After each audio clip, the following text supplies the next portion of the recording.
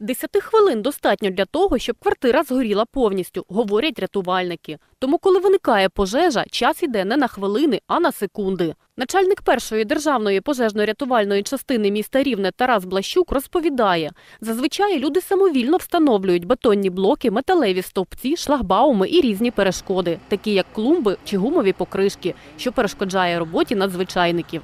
Приміром, біля багатоповерхівки по вулиці Кавказькій стоїть ось такий бетонний блок. Якщо можливо виникне пожежа в даному районі, ми не зможемо тут проїхати, і це збільшить час реагування і може загрожувати людським життям. Якщо перед е, місцем виклику розташована яка-небудь перешкода і пожежно-рятувальне відділення не може доїхати до місця виклику, е, особовий склад по можливості демонтує цю перешкоду.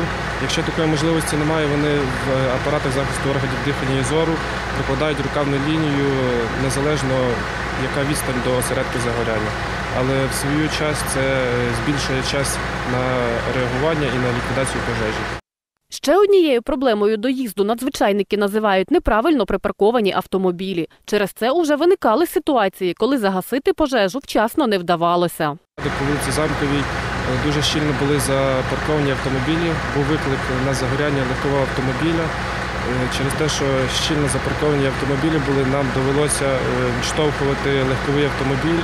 Це в свою чергу збільшило час доїзду і ліквідація пожежі збільшилася, і автомобіль був знищений повністю. А ось тут жителі будинку по вулиці Набережній в'їзд у двори заблокували шлагбаумом. У випадку надзвичайної ситуації працівникам ДСНС доведеться витратити час, щоб його демонтувати.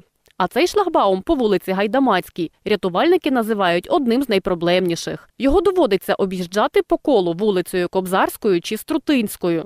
Якби не було даного шлагбауну, сюди було б набагато швидше добиратися до всіх будинків МЖК.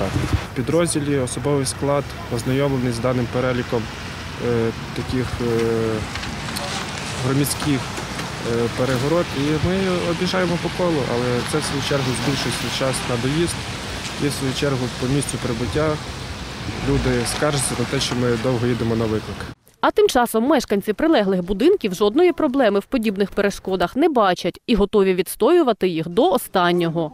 Переконують, це для безпеки дітей. Адже за їх словами, автомобілі тут їздять швидко, а гратися дітям ніде. Дитячих майданчиків немає. Шлагбаум поставили для того, щоб е, машини не їли. Що мої діти виросли, не було двору. Що зараз багато молоді тут живе, теж нема двору. Лю, людям нема куди дітися. Якщо це проблемне місце, цей шлагбаум убрати, ви знаєте, що таке робиться? На переходах збивають. Якщо вони будуть тут їздити туди-сюди зі скоростю, які вони привикли їздити, то тут буде тільки аварія на аварії. І ще особливо в нинішнє время.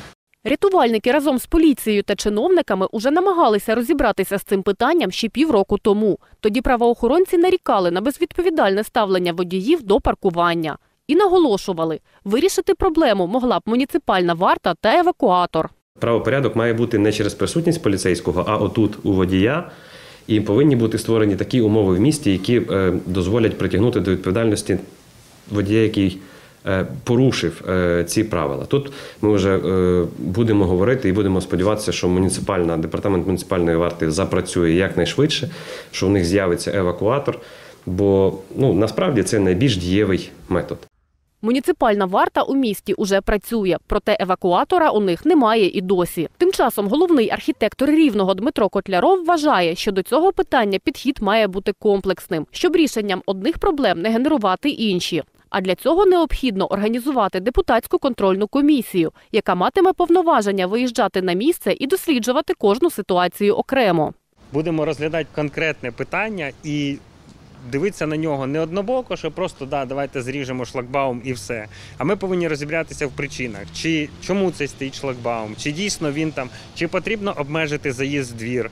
Якщо потрібно обмежити заїзд двір, е, він, наприклад, є там проблемний з точки зору транзиту, то я думаю, що потрібно підійти комплексно. Тоді, якщо ми забираємо шлагбаум, то запропонувати якісь інші рішення по заспокоєнню руху, або перенести його в інше місце і зробити по-іншому переорганізувати схему руху. Відповідну комісію, ймовірно, створять уже 10 лютого на найближчій сесії міської ради. Тетяна Закордонець, Сергій Савта, Денис Коломис, телеканал ITV.